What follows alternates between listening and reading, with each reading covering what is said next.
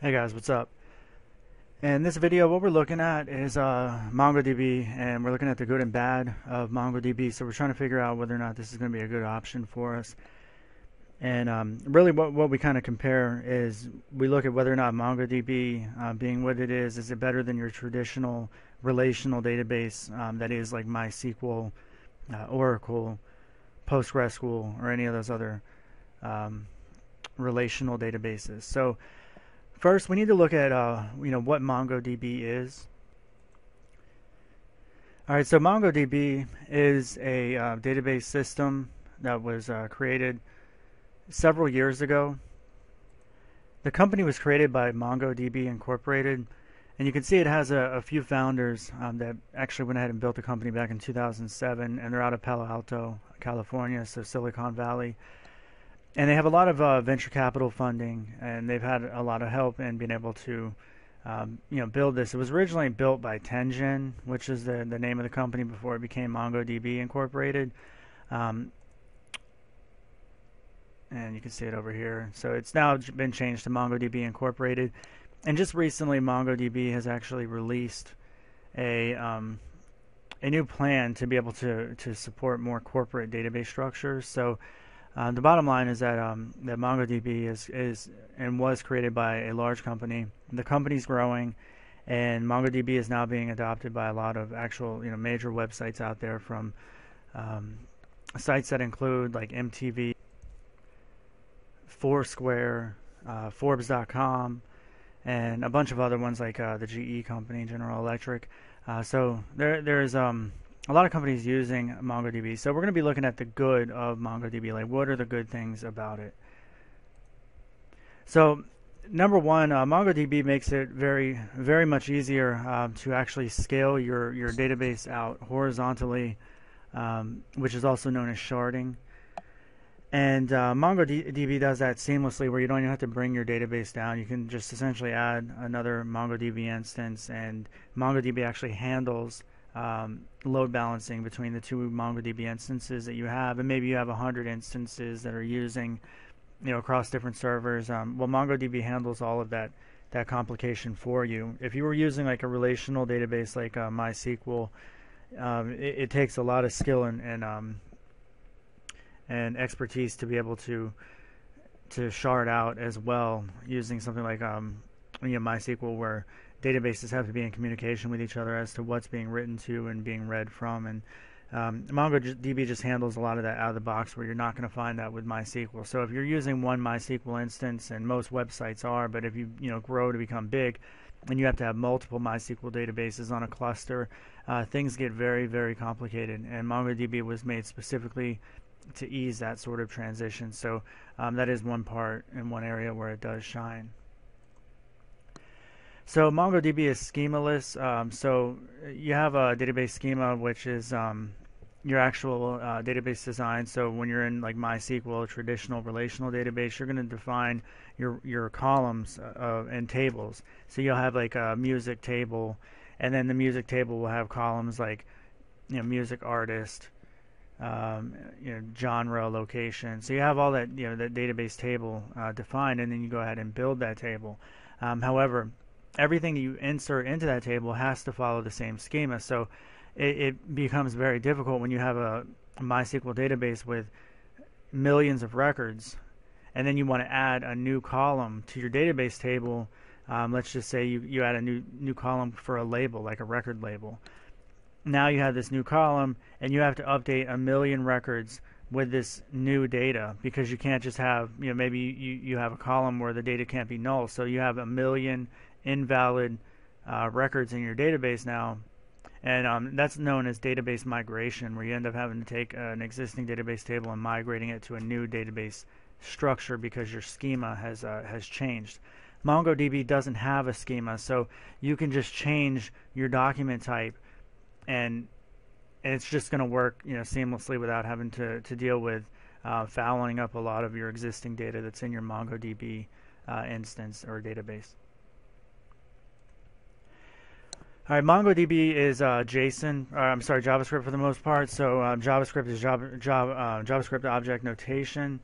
Um, so JSON is uh, you know, the main data transfer language that you have in, among websites now. It's um, XML is still popular, but JSON is now probably the most popular uh, with all the RESTful services out there. So the JSON data that is being returned by your MongoDB database um, can be used um, directly with you know uh, client-side frameworks, JavaScript frame, frameworks that deal with JSON data. So frameworks like uh, React or Angular, um, they are all uh, frameworks built around uh, JSON for the most part. So dealing with JSON data and being able to build components in your website from that data.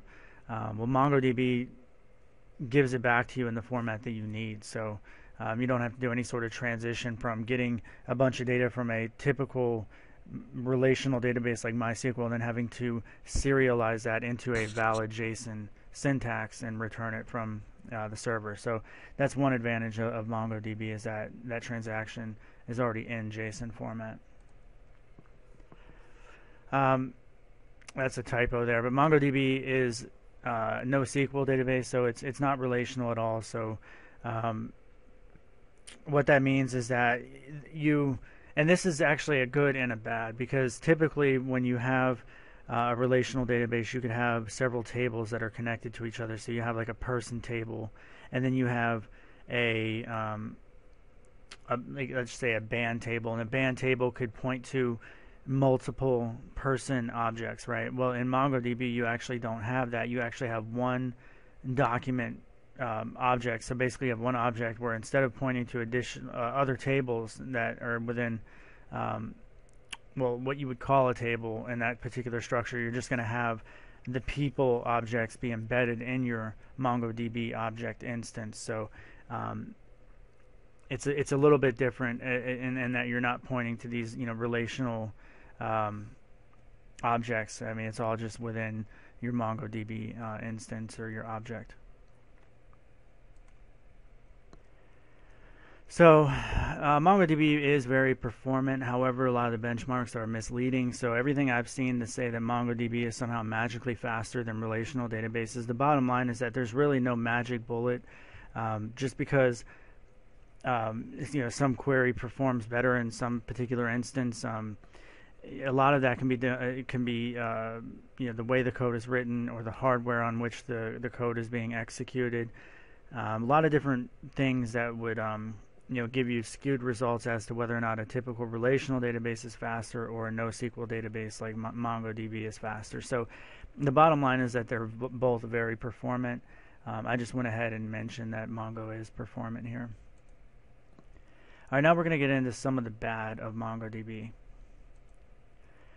It cannot do SQL joins because um, you know there are no relational um, there there's no relationships in MongoDB. So like uh, typically when you do a SQL query, you can SQL uh, data from multiple tables and then join all that data together into one uh, you know one object, and that's not something that MongoDB can do. Um, you would actually have to do that um, and manually and, and, doing workarounds to be able to achieve a, a, similar result. So a lot of people say you shouldn't be doing a lot of joins in MySQL anyway because they're not very performant. But the bottom line is you can't do it in MongoDB. So I'm not a database expert, but that's definitely a downside that I hear from MongoDB.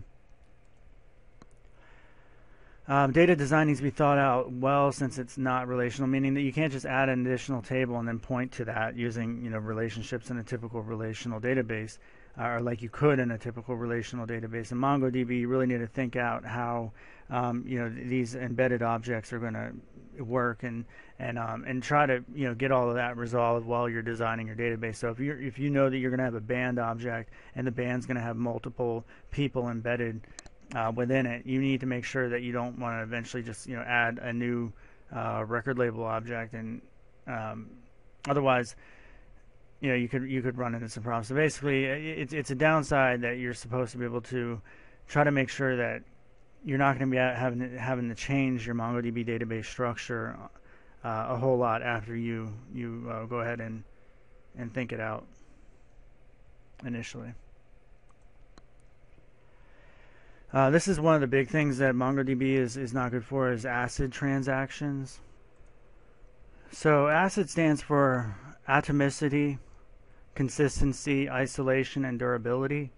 And um, basically, it's a set of uh, properties that guarantee a database transaction is either going to go through fully or it's not going to try to execute at all. So basically, if anything fails and sort of like if you're updating uh, several areas and, and one area fails, um, the entire transaction will be rolled back and fail in a normal, um, you know, ACID safe relational database structure. In MongoDB, um, it doesn't do that. So you can have partial updates, run into some sort of error, and then your database could be um, fouled up to an extent. So you could have like a, an insert that you did and only half of it got inserted. So essentially you lost the other half of data, and you have bad data in there because you um, you only updated half of the query and you never failed. Like in a normal relational database that's ACID safe, it would go ahead and update, run the fail, and then just retract itself, and, and that database entry wouldn't be there. So it's really bad that you can end up having a, a messed up database.